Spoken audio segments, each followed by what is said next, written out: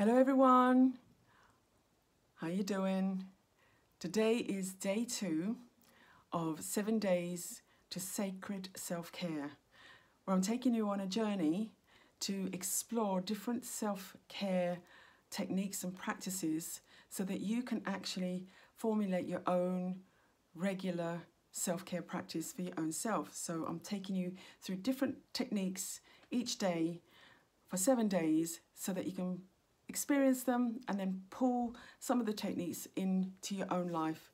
This is all on the back of me losing my way and expressing how I lost my way for six months and um, I'd stopped exercising, stopped doing my practices and how it resulted in a messy office, messy mind, me feeling really down and out of sorts and how I got myself back on track with all the different self-care practices that I've put back together.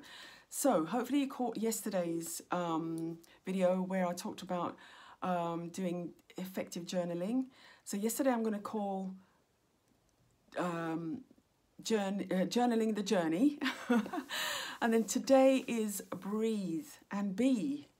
So breathing, taking time out, taking that step back, when you're really under pressure and you're really feeling anxious and you're feeling like overwhelmed and you've got things to do and it, there's deadlines and you're just really sort of, oh my God, I'm really anxious.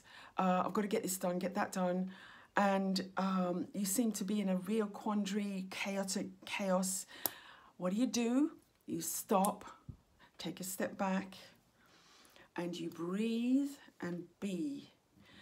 What I mean by that is you take three deep breaths. And these breaths aren't just any old breath. You're going to breathe right into your whole soul. Breathe in to your pelvis. And then you're going to breathe out. Right, so you're really squeezing your abdomen back towards your spinal column. So you empty your lungs. And when you think it's empty, empty a bit more. Then you wait and then you breathe in again right into your pelvic pelvic floor. And when you think you've filled up, you breathe in again and really bring in more breath. And then you let go again. Squeeze out to your pelvis, to your spinal column. Okay? And then you do that again for three times. What you're doing with that is you're telling your body that you're in a state of calm, that you're in a state and there is no danger okay? When you breathe deeply, you're telling your body that your parasympathetic nervous system is not needed because that's what kicks in when you're shallow breathing, yeah?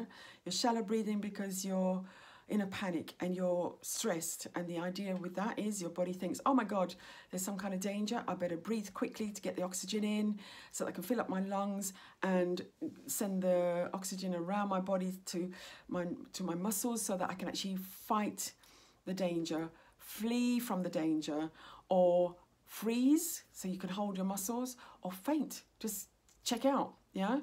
So that's your parasympathetic, parasympathetic nervous system kicking in to protect your body, okay?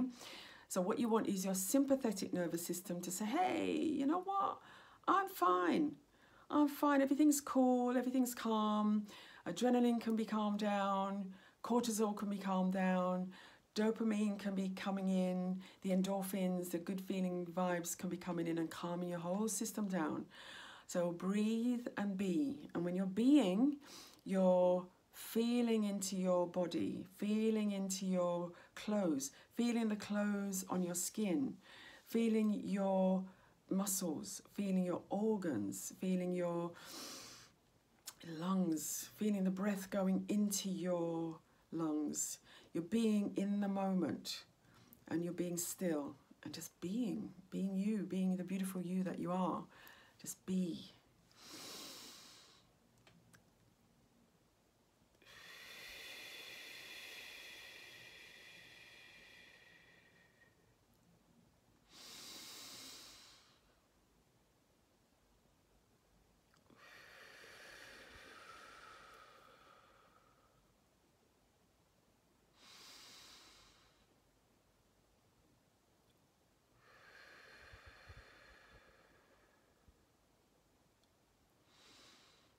Present.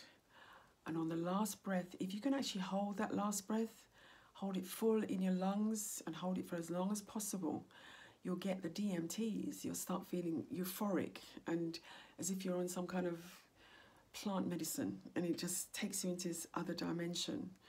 But only do that if you feel comfortable to do that and then let the breath out. So that's what we're going to do today as part of your sacred self care techniques, practices. Try it out and see what happens.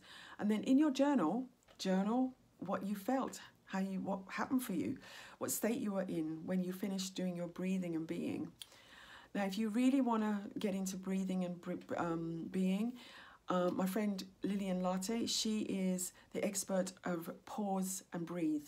Her techniques on breathing and helping uh, women, especially especially women over 40 who are in business, to really decompress, pause, breathe, and come away from burnout. I'm going to put a link to her uh, website and her information in somewhere around this video, and you can connect with her to get some really good exercises around breathing and pausing and being. Okay, so that's it for today. I'll see you tomorrow for day three. I wonder what I can come up with for, for day three. I'll have to think about that one. Love you loads. See you later.